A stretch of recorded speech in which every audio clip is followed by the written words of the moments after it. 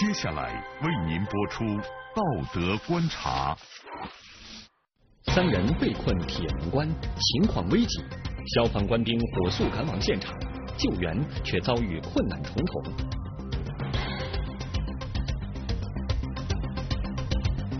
被困男子突然坠入山崖，危在旦夕。这场与时间赛跑的生死考验，结局如何？敬请收看《道德观察》，生死铁门关。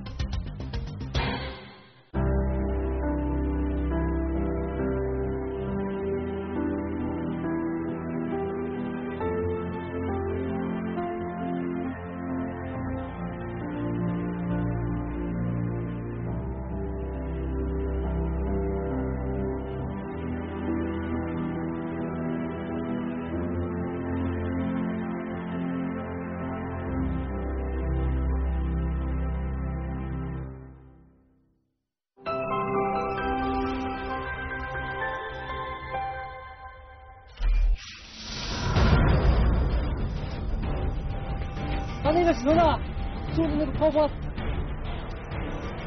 如果说人真要真要掉下来，看他们面在舱面上那些，已经快坚持不住了那种感觉。从半山腰那个都掉下来，大家看那样情况，心里面都很难受。从男子的伤势看，很有可能凶多吉少，血迹斑斑，意识模糊。坠崖男子严重的伤情让在场的消防官兵很担心，他们使尽浑身解数，齐心协力把坠崖男子以最快的速度往山下抬，尽可能把人能够顺利的从半山腰上救上，这是第一个任务。这名男子是谁？他为什么坠落山崖？这场与时间赛跑的生死救援结果又是怎样呢？刚才的这一幕发生在今年的四月五号下午五点左右，事发地点呢是在新疆库尔勒市的铁门关风景区。铁门关山势险峻，乱石林立，游人呢一般是通过一条台阶的路攀登上山，俯瞰远望。但是最近几年，总有一些驴友把这儿当成探险的宝地，另辟蹊径。这回又有三名游客被困在了山上。身陷窘境。二零一四年四月五号下午四时左右，新疆巴州公安消防支队指挥中心接到报警称，库尔勒市铁门关风景区的山上有三人被困。等着我们，我们马上就过去。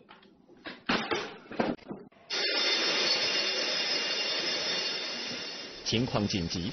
指挥中心立即调派了库尔勒市消防大队天山中队两车十二人赶赴现场救援。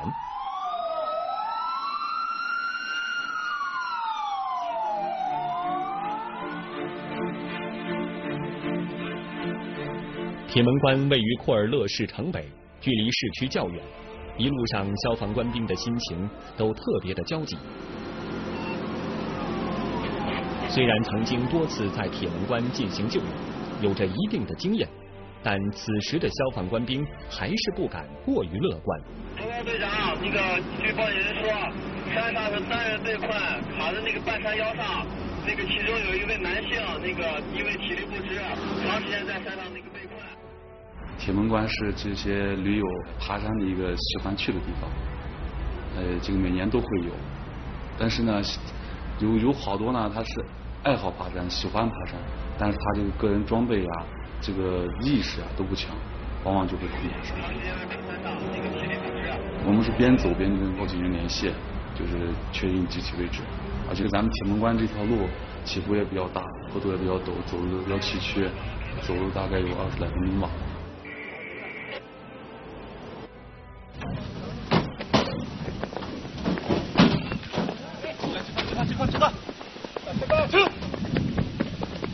咱们背后山上有三名被困人员，情况十分危急。现在命令一组走，携带救援绳、安全腰带，随我上山，准备下，继续在场。接警半小时后，消防官兵赶到现场，在海拔几百米的山体里，隐约有三个身着黑衣的人影显现，他们的位置恰好处于悬崖靠山顶的地方。我们当时第一眼看到的时候，其实就是一个小黑点，山体比较陡，人几乎成就是贴着那个山体，趴在上面，贴着墙一样，贴到墙面上一样，躲到大概快九十度那种感觉。因为他们卡在半山腰，现在已经卡那地方，已经上也上不去，下也下不来了，不敢动了，已经不敢活动了。通过现场勘查并询问相关知情人员，消防官兵得知，被困人员为两男一女，总共三人。在综合考虑各种因素，经过对山上地形的观察和比对之后，指挥员命令九名消防官兵携带绳索、防坠落部件、多功能担架等器材，从侧面攀爬至山顶。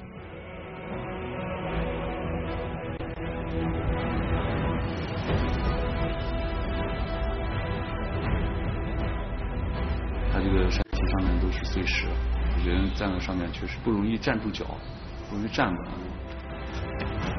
而且对我们救援来说呢，我们向上进攻路线不好确定。第二个，这个它也也比较高，在三百多米左右。对于我们战士这种体力啊，这个心理啊，都是一种挑战。当时那个山从底下看的挺害怕的，爬的当时也挺难爬的，爬着爬着那个石头就是从山上就往下滚。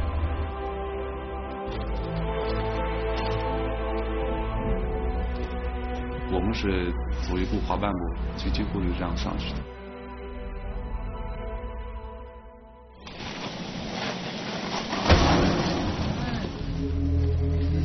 铁门关怪石嶙峋的独特地形，给这场救援增加了重重阻力。就在消防官兵与被困人员近在咫尺时，复杂险峻的地形丝毫容不得消防官兵再往前一步。找立脚的地方很少，只能靠自己用拿走一走一走几步，拿脚蹭几下，磨出个落脚地，然后再继续向上。当时那个山面也不是像那种沙土的。全是一石石头、岩石一样的，你手抓也不方便，特别硌手感觉。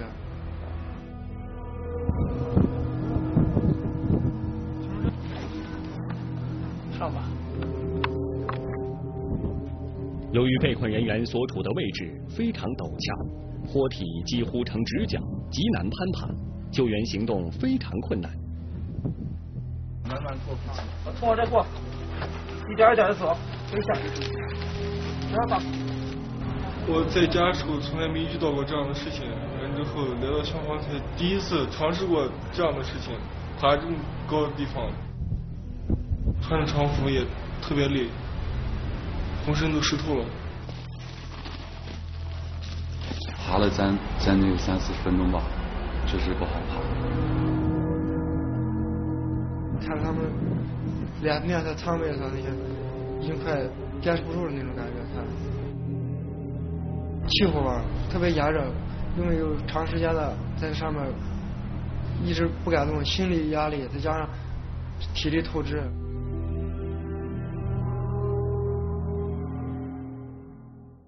时间一点一点的过去了，经过长时间的烈日暴晒，被困的那三个人体力透支，快接近极限了。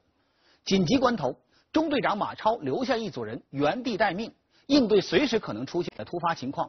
他呢，带着另外一组人绕道而行，进行救援。这场救援不仅对被困人员的体力和心理承受能力是一种极大的考验，同时也考验着消防官兵的体能和心理素质。经过了近五十分钟的攀爬，消防官兵终于抵达山顶。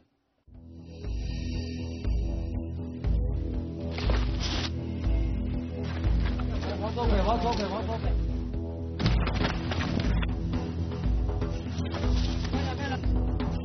我们从两侧迂回上去的，这样我们队长带带着我们三个战士，我们继续往上爬，爬到上面有个稍微大一点的，有个落脚点，我们救援人员就在那上面站着。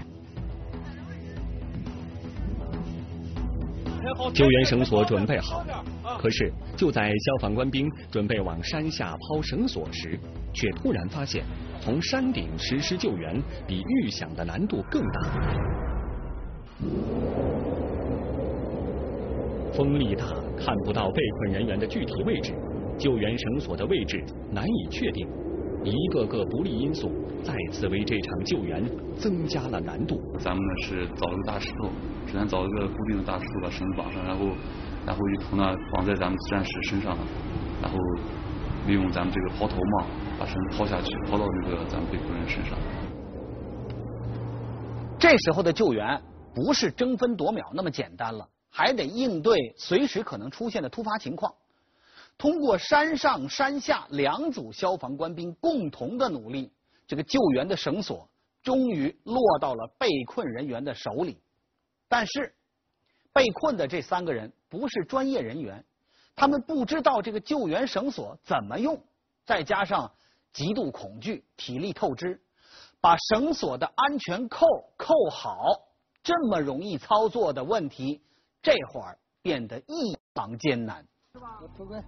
在拉拽被困女青年小周的同时，山上的碎石时不时滚落，给另外两名等待救援的被困人员造成了威胁。因此，消防官兵小心翼翼，尽可能放缓速度，确保小周和其他两名被困人员的安全。你抛之前说一下啊，多拿几个上来。让所有人没想到的是，意外发生。救援的时候只是听到，隐约听到说是体力不支不行了，然后就听到我们下面观察员就在喊他人已经失足了。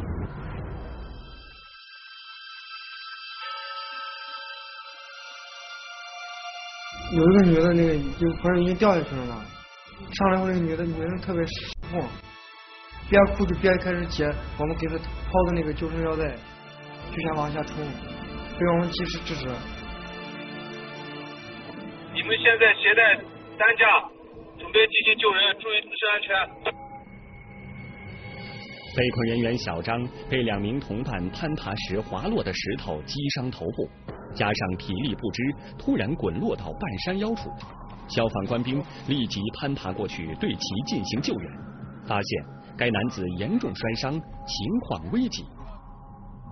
大家看那样情况，心里面都很难受，想着。快快一点把他抬下去嘛！过去检查，呃，大概的就是肋骨这一块人都没有啥问题，就是可能有腿和胳膊伤的比较严重一点。下面救援总共是分了六个人，他们六个人把他抬下去了，因为抬人下山更难。当时我们抬的时候，大家都互相照顾着，说着。这个下去的时候都小心点，看脚底下的石头。往家走，走，开始，走走走，慢点，注意脚底下，最脚底下。我们下的时候，绳子一端在他们身上绑着，其另一端在我们自己战士身上绑着，确保他们下山能够保证安全。我们下山感觉就比上山还要困难，因为他那个坡比较陡，我们下的时候就几乎就趴着下去了。一步一步的往下，慢慢的走了。被困绝境的三人被成功解救，坠崖的小张也脱离了生命危险，身体恢复的不错。虽然事情已经过去了几个月，但是每每回想起这段经历，他们依然是心惊肉跳。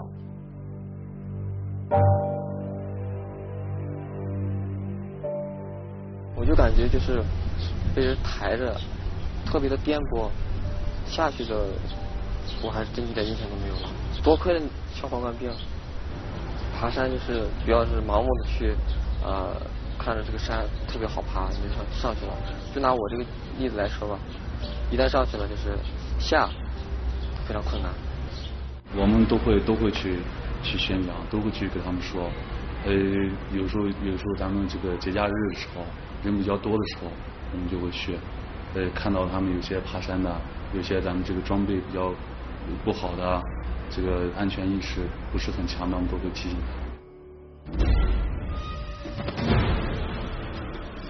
其实，类似这样的救援，每年都会在铁门关发生好几次。对于消防官兵来说，他们平日里不仅要掌握处置火警所需要的专业知识和技能，同时还要掌握更多方面的救援知识，来应对越来越复杂的不同救援。我们要求这个消防部队现在随这个社会发展吧，咱们任务是越来越多、越来越复杂了。大到咱们这个抗洪抢险，小小到咱们这个给家里面通个马蜂窝，这种社会救助我们每年都会有四五十起的。就是有些戒指卡到手上取不下来，都会来我们中队来找我们。